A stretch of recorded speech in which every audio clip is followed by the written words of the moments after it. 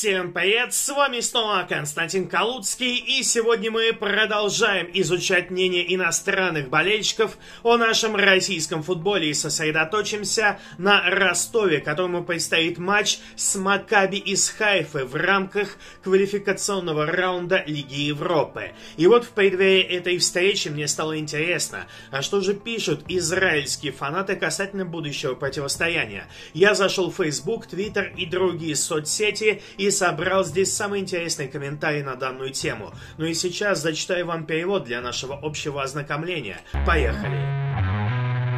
Хочу напомнить вам, что специально для вас был создан телеграм-канал PegasBet, в котором публикуются бесплатные прогнозы на спорт, которые помогут вам заработать. Все открыто и честно, а самое главное по статистике проходимость прогнозов более 90%, что гарантирует вам постоянную прибыль. Так что, не теряя ни минуты, заходите на телеграм-канал по ссылке в описании и начинайте зарабатывать. Якир Сапи Мира написал, мы с трудом прошли Кайрат у себя дома. Российский футбол куда сильнее казахстанского. И сейчас мы играем на выезде. Увы, шансов очень мало. Но будем верить в нашу команду.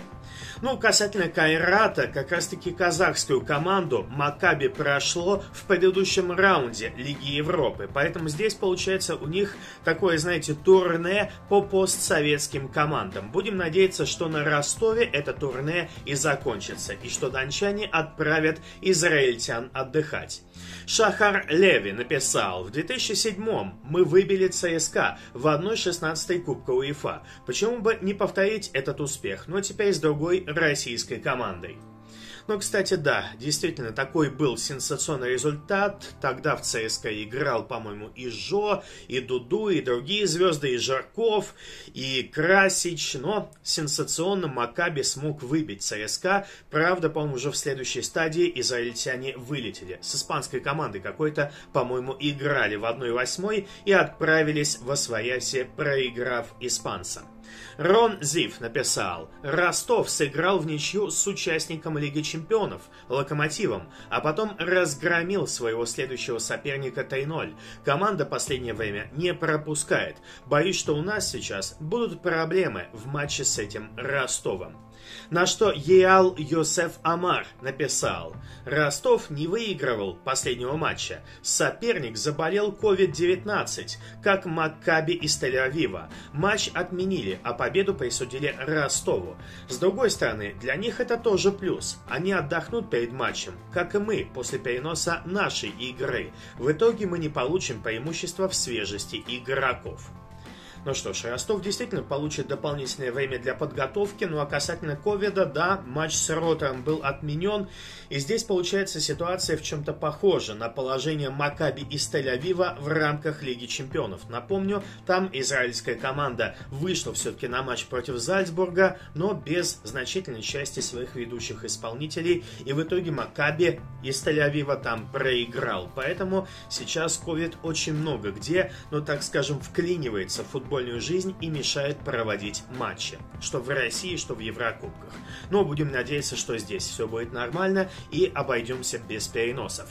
Авиат Ноа написал, российская «Динамо» недавно сенсационно проиграла грузинской команде, хотя считалась фаворитом. Почему бы нам не повторить этот успех? Ну, будем надеяться, что здесь такого же фиаско не будет.